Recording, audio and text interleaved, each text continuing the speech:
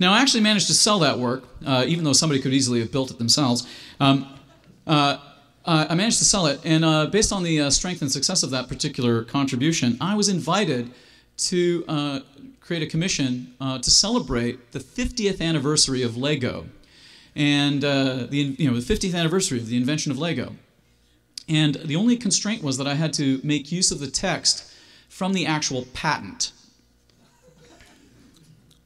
So this is a this is a paragraph, a fully quoted paragraph uh, from patent number 3,005,282 uh, by Gert- Gottfried Christiansen, uh, the inventor of Lego, who says,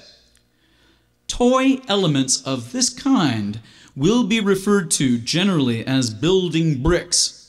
and the principal object of the invention is to provide improved coupling means for clamping such building bricks together in any desired relative position, thus providing for a vast variety of combinations of the bricks for making toy structures of many different kinds and shapes.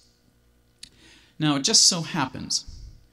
uh, that coincidentally, if you take this particular paragraph and repermute, rearrange all of its letters exhaustively,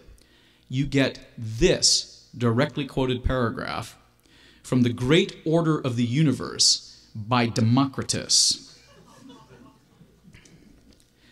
Atoms bombard the unplumbable void, plunging like silvery raindrops or drifting like twinkly hoarfrost and by coalescing, if kindred, they cause things to appear, and by separating, if opposed, they cause things to vanish. And from these interknit vectors, objects interlock,